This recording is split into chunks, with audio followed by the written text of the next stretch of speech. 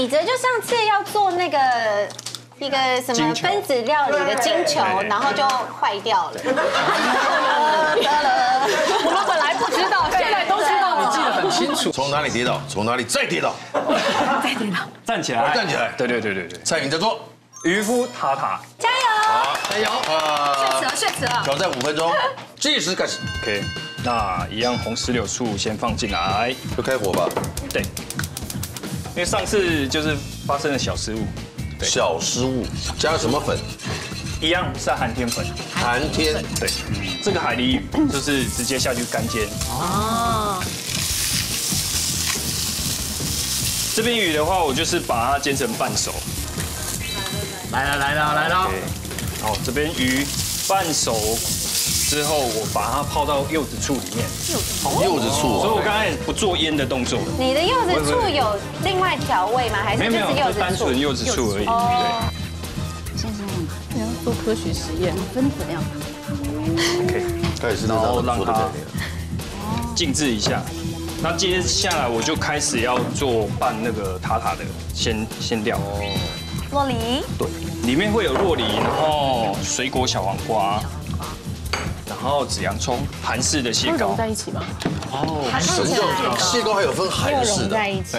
就全部都只有蟹膏，只有蟹膏，对选蟹膏啊。然后里面我就加上日式美乃滋，美乃滋有咸味吗？有，然后还有一点酸，卓文轩超可爱的，哇，这肉熟的刚刚好。他说你很可爱。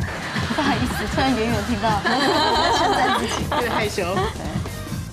最后一分钟，那个也可以吃吗？好嘞。对，等一下就是做成那已经这是塔壳，现成的塔壳之后，那我就是把它拌匀之后放到红色的是塔壳。这个很日式的感觉就是把。它这样子放放放以后，然后看那个能不能够成型放上去。那个看来这个还蛮费工的嘞，嗯比较开胃的小品，开胃啊。对，小品很多都蛮费工的啦。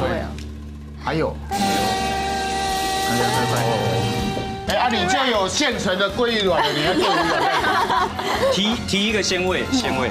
好了，来了，你都加油！到底有没有挑战成功呢？有了有了，啊，有了有了有了有了。有，但是有，还没有一起金球的模样。有一些啦，有几颗啦，好，有有它没有全部成型了。哎有有几颗漂亮。就就当是有成型的最好。很美很美。这好像也是一哎，有还是好看的啦。因为温度对对我对对口感也有帮助啊。主要是温度，温度。这以前我们在做哦，我们会把那个油泡在那个冰块水冰块里面，更冰。那更冰。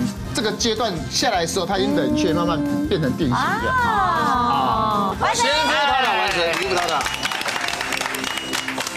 有了，还是有一颗了，还是有啦。不止一颗了。哪里跌倒哪里爬起来，好棒！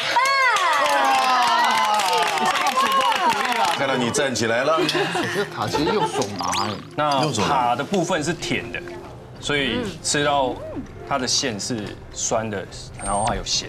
海蛎的那个鱼肉有干煎过之后，其实它啊增加香气，而且做半熟的它增加那种 Q 度在。一般的你海蛎鱼肉，你如果是熟的话，你嘴巴一抿它就化掉了。对，哦，那反正增加不同的一个乐趣跟层次。对哦，而且石榴的那个分子跟鲑鱼卵放在一起的时候，你就会有一点，呃，咸甜咸咸的、咸甜的，然后又酸酸微微微的，的酸。很 balance。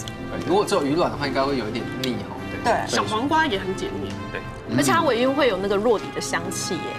对，里面也有加好。吃哦。嗯哎不错，应该不错这个。